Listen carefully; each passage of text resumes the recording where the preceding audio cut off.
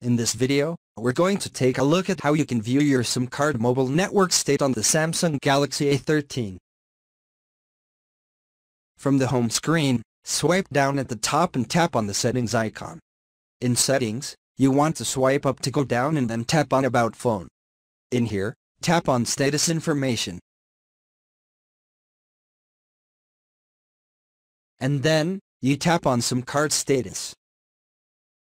In here, you'll be able to find out your mobile network state.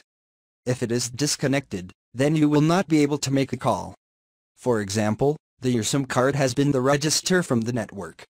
If you put your phone in airplane mode, sometime let's also cause your mobile network state to go disconnected.